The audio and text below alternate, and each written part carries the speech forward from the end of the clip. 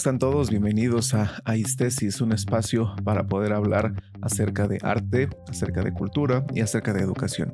Es un espacio que nos permite a todos poder compartir ideas, compartir teorías y compartir gusto, sobre todo eso, gusto por este tipo de temas. El día de hoy vamos a hablar acerca de un personaje en la historia de la filosofía muy muy famoso y que nos empieza a desarrollar temas que tienen que ver precisamente con la antropología. En este caso, estamos hablando de una antropología filosófica. La idea de hablar de todo esto es principalmente que podamos tener un espacio teórico, un sustento teórico conceptual para poder levantar todo lo demás que podamos ejercer después de ello, sobre todo y encaminado principalmente a la idea del diseño gráfico, entendiendo el diseño desde múltiples perspectivas, como lo veíamos en el video anterior de la semana pasada. Entonces, lo que vamos a hacer el día de hoy es que vamos a presentar a nuestro personaje, se llama Ernest Cassirer, y vamos con ello.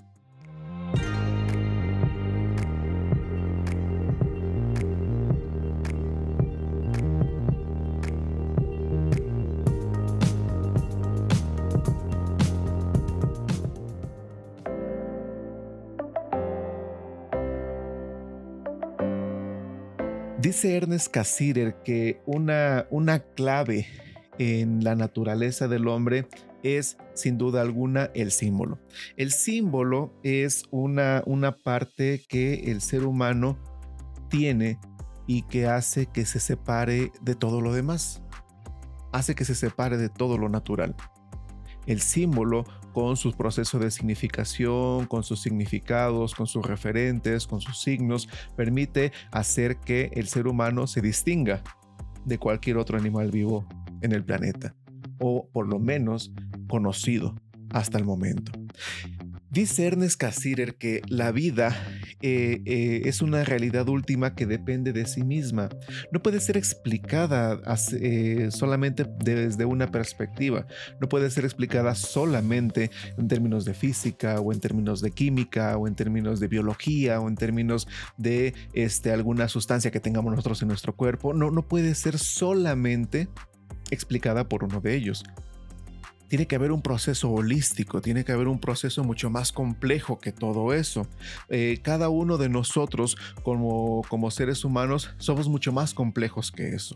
Sin embargo, cada organismo en el planeta está totalmente adaptado en términos físicos, en términos fisiológicos, en términos biológicos, pues físicos y biológicos, está adaptado a un entorno en específico.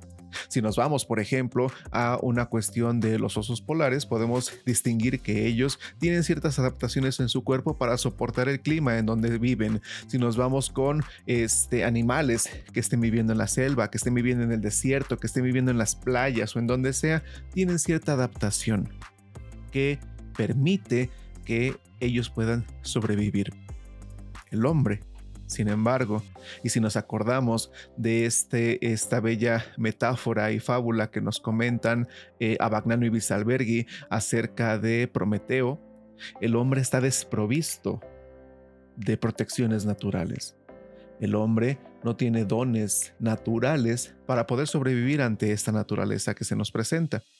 Sin embargo, y regresando al señor Ernest Cassirer, nosotros tenemos algo que, si bien no es natural, pero se ha convertido en nuestra nueva naturaleza. Nosotros como seres humanos se nos complica vivir en la naturaleza. ¿Cuántos de nosotros no hemos intentado en algún momento ir de viaje, no hemos intentado en algún momento acampar y es complicado? Necesitamos llevar las herramientas adecuadas. Y precisamente nosotros, nuestras manos, nuestra piel, nuestro cabello, todo no está lo suficientemente fuerte. Por ejemplo, nuestras uñas no son lo suficientemente fuertes como para desgarrar piel o para desgarrar algún miembro de otro animal nuestra piel no es dura, no es lo suficientemente dura como para soportar frío o calor extremo. Tenemos complejidades ante eso. Es por ello que dice Cassirer que el ser humano, al estar eh, de alguna manera limitado ante este proceso natural, crea algo que le es propio, crea la cultura. Ha descubierto un nuevo método para adaptarse al ambiente. Y esto es la cultura. No tenemos piel dura para soportar las inclemencias del tiempo. Construimos casas, ponemos cuatro paredes, un techo, una puerta, ventanas, etc. Y tenemos ya una protección ante las inclemencias del tiempo. Esto es algo que dice Casirer que es lo que podemos llamar un sistema simbólico. El hombre, dice Casirer, no solo vive en una realidad más amplia que cualquier otro animal, vive en una nueva dimensión de la realidad. El hombre ya no vive entonces en un puro universo físico, vive en un universo simbólico. Este universo simbólico, dice Cassirer, está adaptado o está puesto a partir de cinco grandes elementos. Recordemos que decía Cassirer que no podemos eh, delimitar o decir que el ser humano solamente es una sola cosa o desde una sola perspectiva. Dice Ernest Cassirer, hay que verlo desde cinco puntos distintos mito y religión, que sería el primero. Después tendríamos lenguaje, tendríamos arte, tendríamos historia y finalmente ciencia. A partir de estos cinco elementos de los que comenta Cassirer, podemos empezar a colocar definiciones de lo que es verdaderamente humano. Estos cinco elementos forman los hilos de la urdimbre tan compleja que al final de cuentas es la existencia humana misma. El ser humano se ha vuelto tan complejo su máxima virtud, pero también su máximo vicio, que no puede ver nada si no es a través de este tamiz que es lo simbólico. Y para eso tenemos una cita de Epicteto. Epicteto decía que lo que perturba y alarma al hombre no son las cosas, sino las opiniones y figuraciones sobre las cosas. Me parece que esa es una parte importante.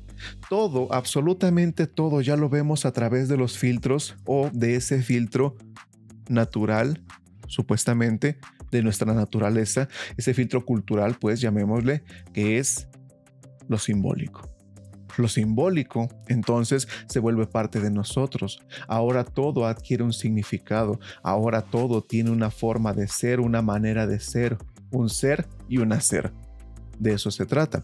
El ser humano como animal racional ya no es suficiente para definir al ser humano. Ahora, dice Ernest Cassirer con su propuesta, hay que empezar a definir al ser humano como un animal simbólico.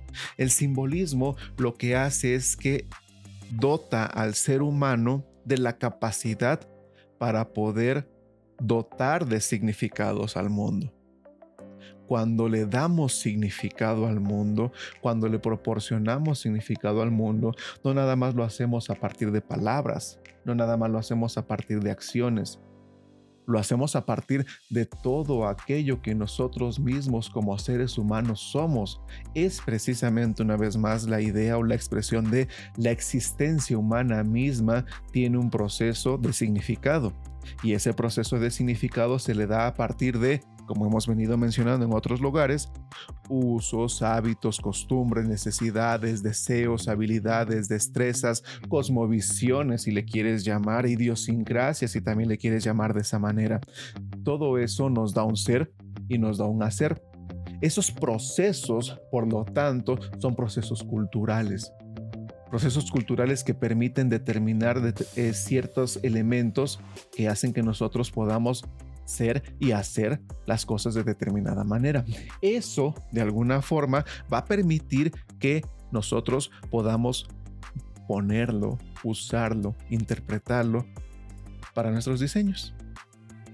Porque de alguna manera, todo diseño está diseñado por alguien, obviamente, por un ser humano. Ese ser humano entonces da un significado a lo que hace, le dota de un significado a lo que hace es necesario entender esas donaciones de significado. No podemos hacer objetos simplemente por hacerlos, no podemos entender un objeto simplemente por su belleza, al menos no en diseño gráfico, al menos no en esta materia.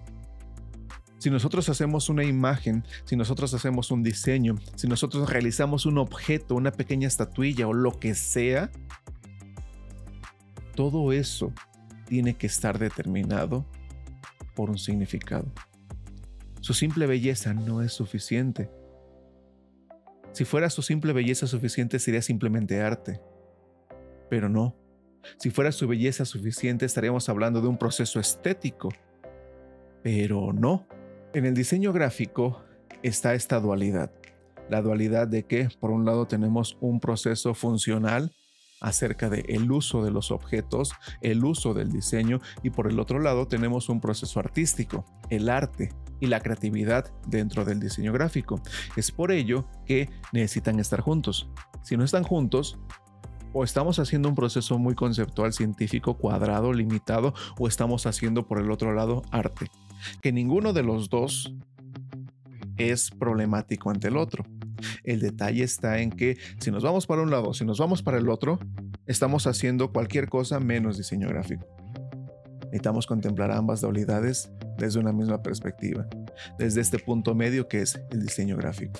Y plantearlo desde esa perspectiva implica reconocer usos, hábitos, costumbres, necesidades, deseos, habilidades y destrezas dentro de las personas, de las comunidades en las cuales estamos insertos y que al final de cuentas eso es un proceso cultural basado, según Cassirer, desde mito y religión, ciencia, arte, historia y todo lo que conlleva el ser humano.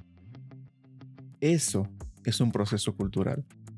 Esa es la cultura entendida desde la antropología.